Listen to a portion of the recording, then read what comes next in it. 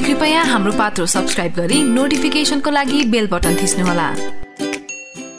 Hello नमस्ते। अब सबै जस्तै म पनि योपालिको वर्ल्ड कपको लागि एकदमै बढी एक्साइटेड छु होइन।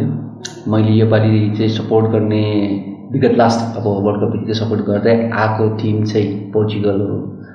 त्योभन्दा अगाडि एक टाइम थियो जहाँ चाहिँ मैले कोरियालाई एकदमै बढी सपोर्ट गरेको थिएँ।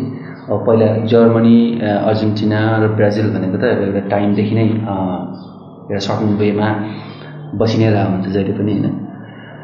सो आई थिङ्क योपालिको वर्ल्ड कप चाहिँ it's can be different than usual जस्तो लाग्छ मलाई चाहिँ। किन भन्दाखेरि अब चाहिँ एउटा वर्ल्ड कपमा पनि सर्टन टर्निङ पोइन्ट एउटा आइसकेको छ।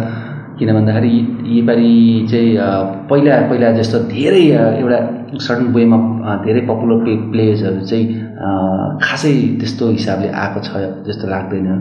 सो अब यो पालिको वर्ल्ड कपदेखि चाहिँ अब जाने नेक्स्ट चार वर्ष पछाडिको वर्ल्ड कपको लागि चाहिँ धेरै नयाँ नामहरू चाहिँ एउटा भनौँ न टप नोचमा राख्ने छ जस्तो लाग्छ।